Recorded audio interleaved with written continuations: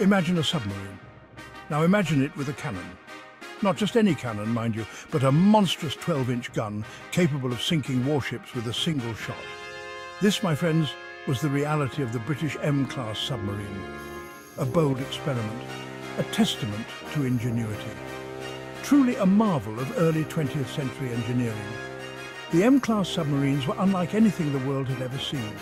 They were a radical departure from traditional submarine design.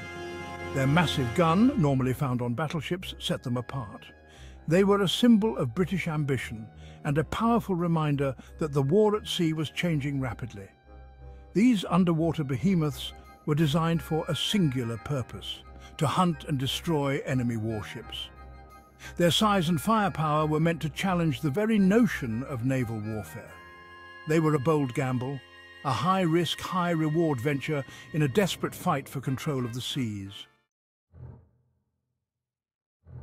World War I had brought unprecedented challenges. The German U-boat threat was strangling vital supply lines. The Royal Navy needed a new weapon, something to break the stalemate. The M-class was their answer. The idea was simple, yet audacious. A submarine surfacing near an enemy fleet could unleash a devastating surprise attack. The element of surprise was crucial. Enemy ships, accustomed to surface battles, would be caught off guard. These submarines were designed to operate in the North Sea, a notoriously treacherous stretch of water. They needed to be large enough to accommodate the enormous gun and its recoil system. They also needed to be stable enough to fire accurately while surfaced. This ambitious plan, however, was not without its critics. Some argued that the submarines would be too slow and vulnerable on the surface. Others questioned the practicality of hitting a moving target from a rolling platform. Constructing these underwater behemoths was no mean feat. British shipyards, already stretched thin by the war effort, faced unprecedented challenges. The M-class submarines were significantly larger and more complex than any submarine built before. The massive 12-inch gun, salvaged from obsolete battleships, needed to be integrated into the submarine's hull. This required innovative engineering solutions and meticulous craftsmanship. The pressure hull, designed to withstand immense pressure at depth, had to be strong enough to also handle the enormous recoil forces of the gun. New welding techniques were developed to assemble the hull. Powerful diesel engines, a relatively new technology at the time, were installed to provide the necessary speed and range. The sheer scale of the project pushed the limits of existing shipbuilding technology. The submarine's size also posed logistical problems. They required specialized dry docks for construction and maintenance. Their deep draft limited their operational areas, making them unsuitable for some of the shallower waters of the North Sea. Despite the challenges, the M-class submarines were marvels of engineering. They incorporated several advanced features that were ahead of their time.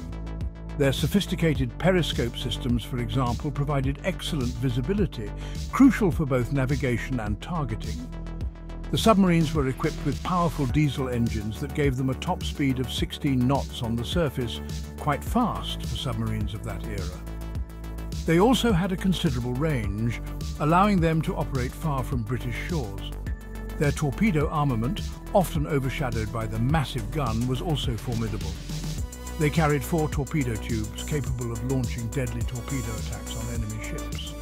This dual threat capability, combining the gun's long-range firepower with the torpedo's stealth, made them versatile weapons.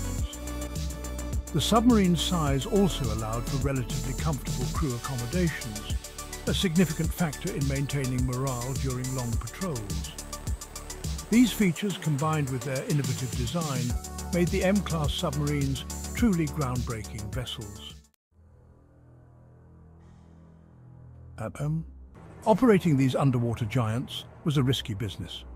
Surfacing near an enemy fleet to fire the massive gun exposed the submarine to significant danger. They were vulnerable to counterattack from enemy destroyers and cruisers. The gun itself, while powerful, was slow to reload and fire. This limited the submarine's ability to engage multiple targets. A single, well-aimed shot from an enemy ship could spell disaster for the large, relatively slow-moving submarine. The North Sea's unpredictable weather conditions also posed significant challenges. Rough seas could make it difficult to keep the submarine stable while firing the gun, affecting accuracy. The harsh environment took its toll on the submarines, requiring frequent maintenance and repairs. Furthermore, the submarine's large size made them difficult to maneuver in tight spaces. They were also relatively easy to detect on the surface, especially during daylight hours. These factors limited their tactical flexibility and increased the risks involved in their deployment.